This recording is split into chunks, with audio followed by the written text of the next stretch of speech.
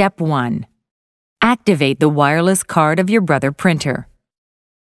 Press Go four times. This will print the network configuration page. The first line of the page will indicate the status, and it should read Brother NC XXXXXW IEEE 802.11 B over G active. If the wireless card is not active, it must be reset to become active. To reset the wireless card, do the following. At the back of the printer, above the network connection, there is a small hole. Insert the tip of a pen in the hole and hold for 5 seconds. Release. The toner light will flash. Turn off the printer and turn it back on. Press Go four times. This will print the network configuration page. The text on the top right side of the page should now be Node Type Brother NC XX XXXW IEEE 802.11 B over G active. Step 2.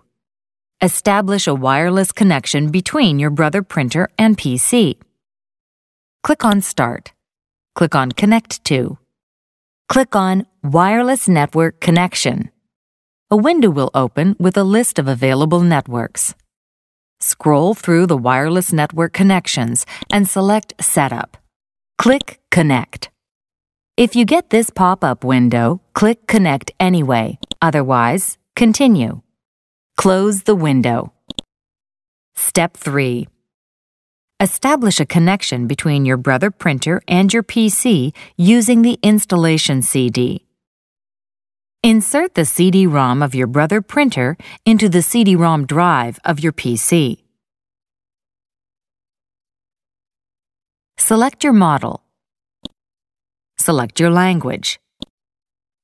Select Install Printer Driver according to your geographic region. Select Wireless Network Users.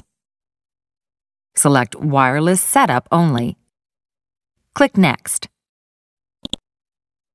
Select Step-by-Step Install Recommended. Click Next.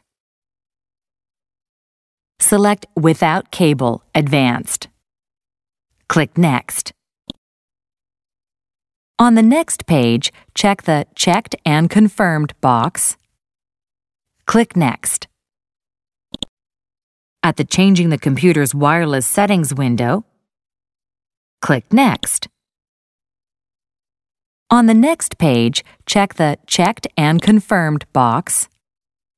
Click Next. At the Available Wireless Devices screen, choose the Brother printer you wish to set up. Click Next. At the Available Wireless Network screen, select the Ad hoc Network Setup. Click Next. On the Attention window, click OK. At the Check the Connection result of the wireless setup screen, check Link OK and click Next. On the next page, check the Checked and Confirmed box and click Finish. Step 4. Set up the driver of your Brother printer. From your taskbar, click on the Macromedia Player tab. Select Install Printer Driver according to your geographic region. Click on Wireless Network Users select Driver Install Only, and click Next. At the License Agreement screen, read it and click Yes. Select Standard Installation and click Next.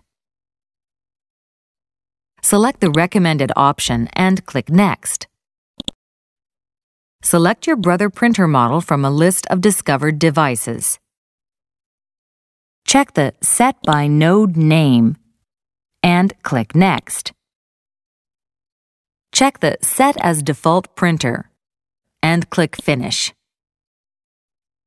At the Installation Completed window, select Yes, I want to restart my computer now. Click OK. Your driver is now successfully installed. You should now be able to print wirelessly. Thank you for your support, George.